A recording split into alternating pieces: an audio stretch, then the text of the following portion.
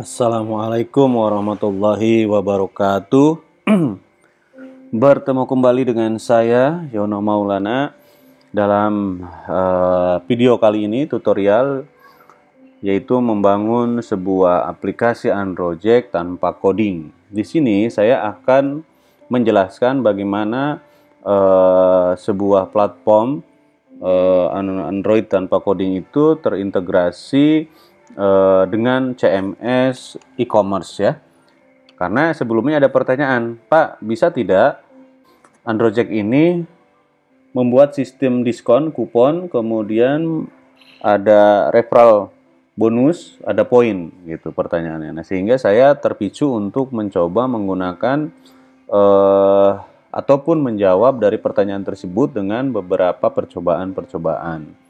Nah, Hal yang perlu diperhatikan adalah pertama ya, yang pertama adalah Anda harus sudah pasti memiliki akun ya, memiliki akun, akun platform. Ya. Ini Anda bisa join apabila hanya ingin membeli sebuah akun gitu ya untuk Android, boleh di eh, bengkel web indonesia.com nanti kemudian garis miring apps ya. Nah, di sini nanti Anda akan menemukan beberapa uh, paket pilihan.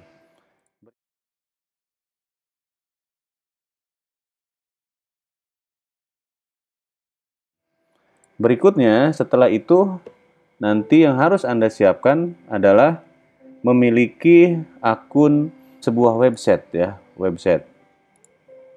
Karena ini syaratnya kalau Anda ingin membuat e-commerce gitu. Ya, ini adalah syaratnya.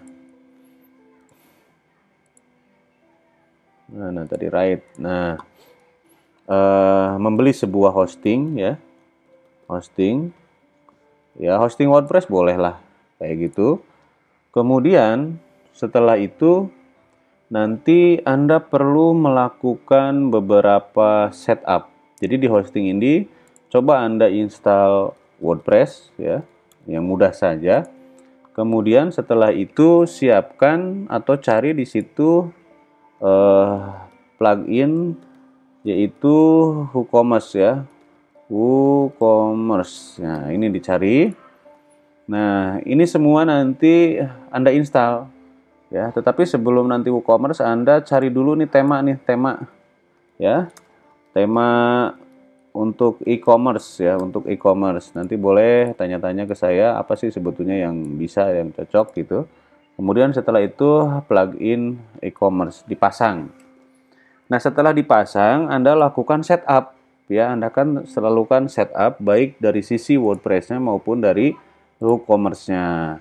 Ya, pastikan di sini Anda melakukan setup plus dengan uh, membuat API-nya ya, membuat API-nya.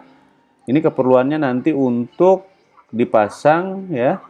Ini untuk dipasang di platform.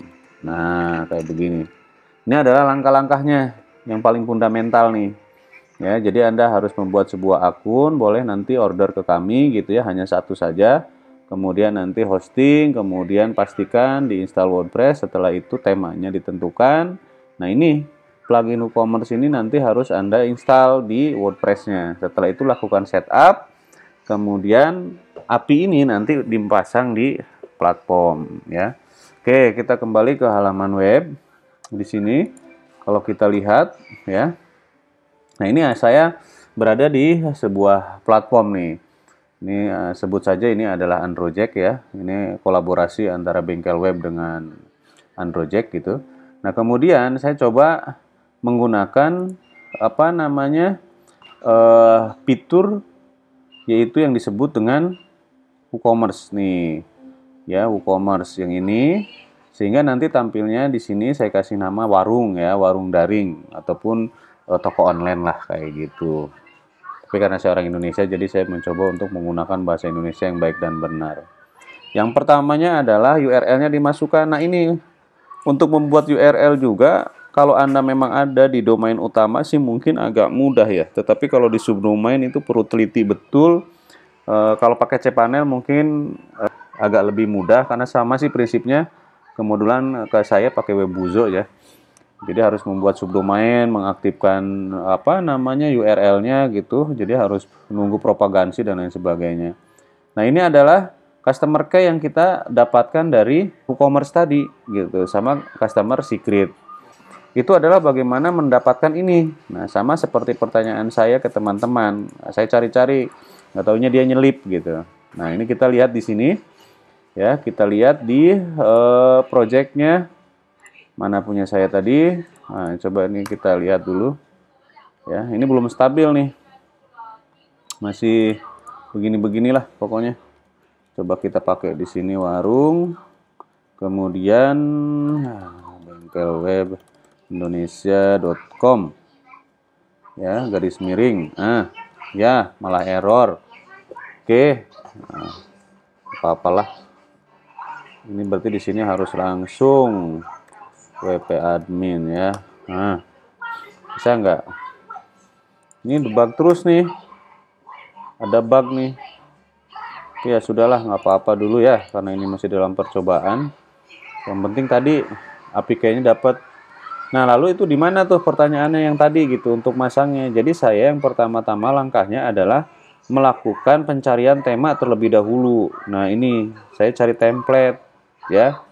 Cari template yang sesuai sehingga nanti dipasang nih di sini kayak gitu.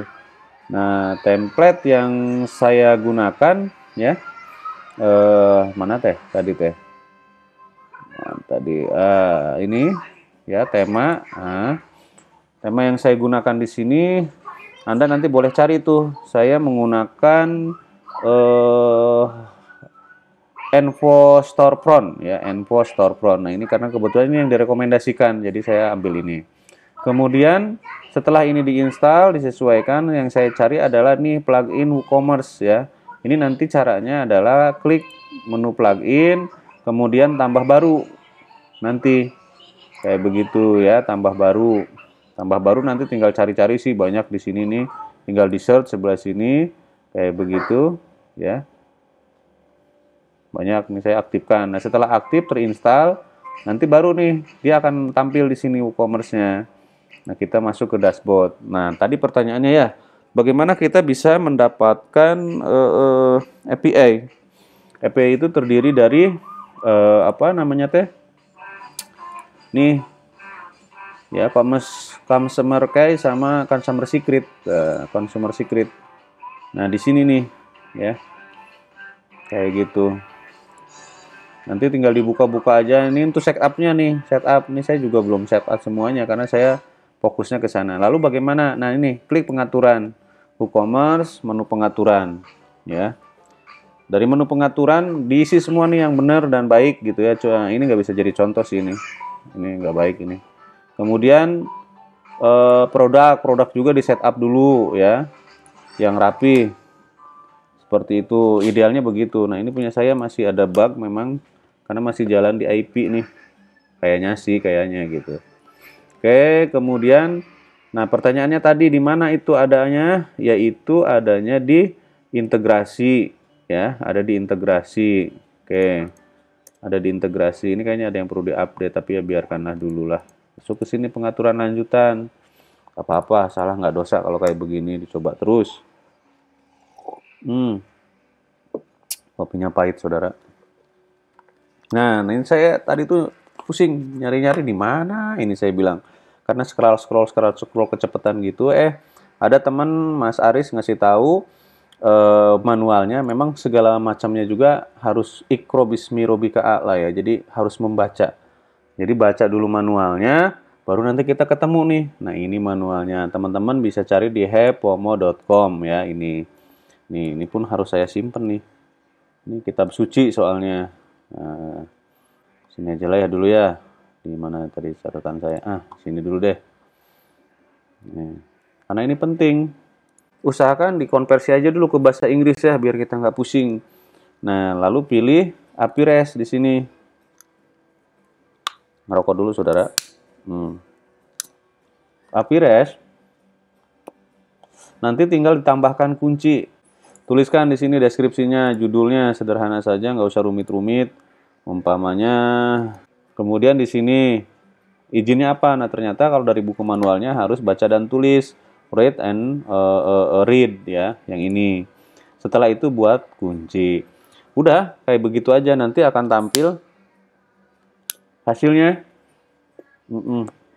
Ini saya nggak buat ya, karena memang sudah ada punya saya. Kayak gitu.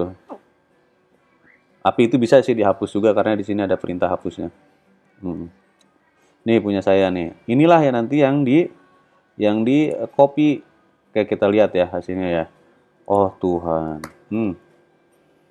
Hmm. Nah, ini nih. Ini hasilnya nih nih. Pada kunci terakhir nih ini. Ya, di sini sama dia udah disembunyikan. Ya nggak apa-apa sih karena udah saya simpan juga gitu. Tapi nanti suka tampil kalau yang baru-baru. Nah, jadi setelah itu semua dilakukan, nanti kan kita dapat API ini.